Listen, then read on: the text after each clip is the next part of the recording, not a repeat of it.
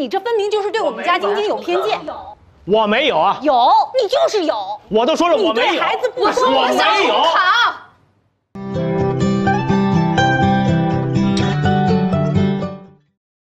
妈，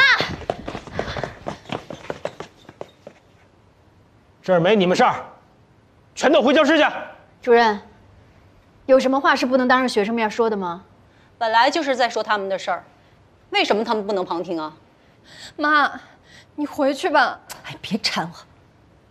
还有啊，刘婉，有些话我早就想跟你说了。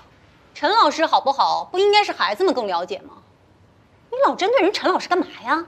哎，你说这话我就不爱听了。什么叫针对？用平均分来决定陈老师走不走，那不是我提出来的呀，是沈校长提出来的。你有意见、有想法，家长群里你干嘛不说呀？你现在说这些，是不是有点马后炮？我说话有用吗？你不才是家长群的老大吗？不是，你说这话是什么意思啊？什么叫我是老大？我们这都是少数服从多数的。你那么咄咄逼人，谁敢说话？谁咄咄逼人了？你咄咄逼人了。总之，我支持陈老师。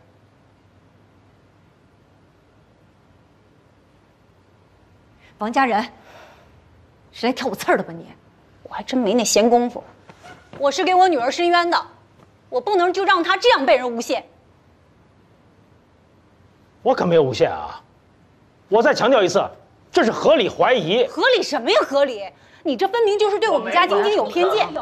我没有啊！有，你就是有。我都说了我没有。你对孩子不说，我没有。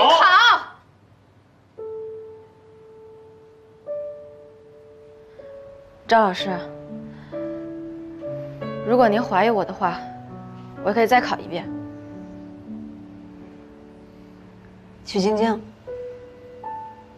你没有必要这么做。没事的，陈老师，是我自己想要这么做。晶晶，张老师，您可以说我没出息，脑子笨，反应慢。但您不能怀疑我作弊。您的怀疑是合理怀疑，我确实来过你办公桌，这点我承认。那这次由您来监考，您出题，您打分我用成绩证明我自己的清白。这可是你说的啊。但是我有个条件。说。如果我这次分数提高了，我们班进了年级前三。陈老师必须留下来。许哥霸气，许哥威武，我们都支持你，我们相信。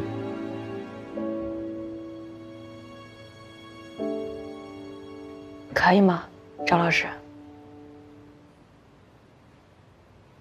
我没有意见啊。大家还有什么意见吗？可以啊。晶晶妈妈呢？我尊重我女儿的选择。